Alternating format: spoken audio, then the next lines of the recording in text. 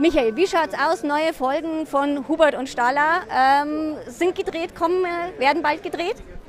Wir drehen gerade. Wir sind kräftig dabei. Bis Anfang nächsten Jahres geht diese Staffel jetzt und äh, es wird noch 90 Minuten gedreht, so wie es aussieht. Also ist noch reichlich zu tun. Der 90 Minuten, ein Special, aus welchem Anlass? Das wäre dann schon der dritte. Wir haben ja drei Stück insgesamt gemacht.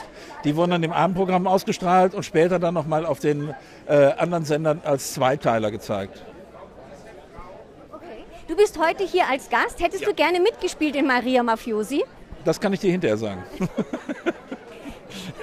Es wird ja so als bayerisch-italienische Komödie, wo sich Polizei und Mafia und also die Familien sozusagen treffen und in die Haare kriegen.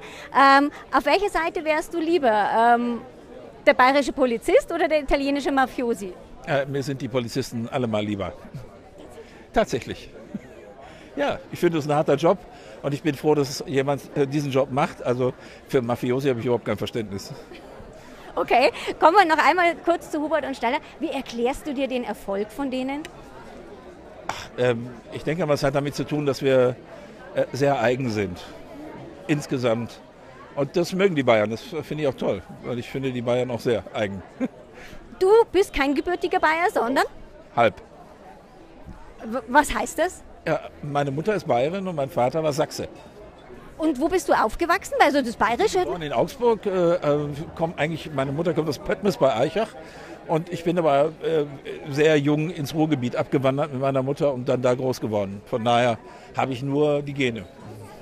Verstehe. Aber du fühlst dich hier wohl? Ja, sauwohl.